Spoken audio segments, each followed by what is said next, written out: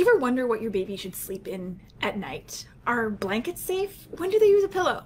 I'm going to teach you all about that today. Hi there, I'm Dr. Sarah Mitchell. I'm a sleep consultant at Helping Baby Sleep. And if you're watching this on YouTube, hit subscribe to never miss a sleep tip.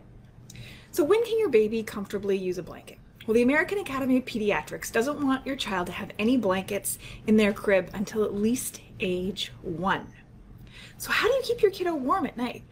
The blanket is a risk, right? Because even if you put it on the lower half of their body, they risk kicking it off and covering their face. So it poses a safety risk, and that's why you don't want to have a blanket.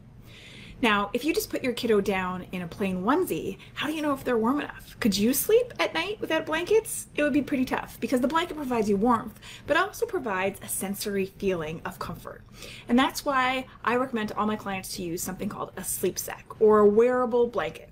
Essentially, it looks something like this. Okay, you would put your child in onesie underneath it, and then there's a zipper down the front, and it's basically like a little sleeping bag, if you will. And these come in a variety of sizes, textures, and shapes. What you're looking for is something made out of natural fibers. So you want to have wool or cotton because they help your body regulate temperature and breathe more easily. Wool is uh, a superior fabric for that.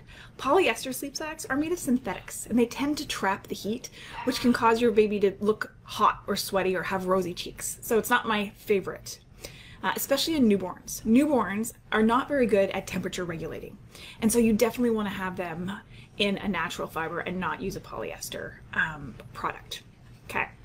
How long do you use a sleep sack for? Well, I used a sleep sack with my kids until they were two and a half, until I finally moved them into a toddler bed. And even then, I kept her in the sleep sack for a little while until I, she got used to, because it's a barrier for movement in a lot of ways. Yes, I want my kiddos moving, but no, I don't want them moving around a lot in the night or at bedtime. So you can use a sleep sack as long as you want okay? And there's different types as they get older. Some of them have legs, which are helpful because here's the thing. Most kids are move around in their night and they kick off the blankets. And then our body temperatures tend to drop at five in the morning, just as our house temperatures tend to. And cold can be a reason that your child wakes up. If you're wearing a sleep sack, that can prevent that wake up. What about pillows? That's another common question I get. When should my kiddo use a pillow? So the American Academy of Pediatrics doesn't want you using pillows until age two.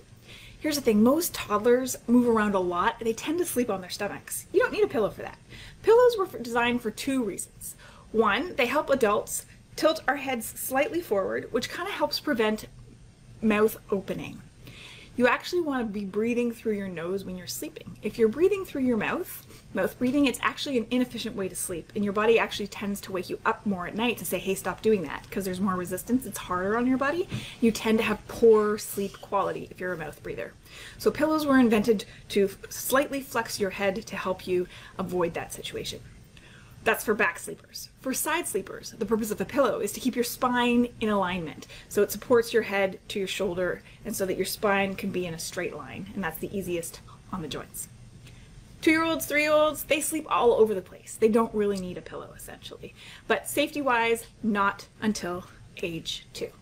That's all that I really wanted to teach you today about blankets and pillows. So in summary, pillows, not before age of two, blankets, not before age one, but you definitely want to give your child some warmth, warmth and using a sleep sack or a wearable blanket is the way to do that.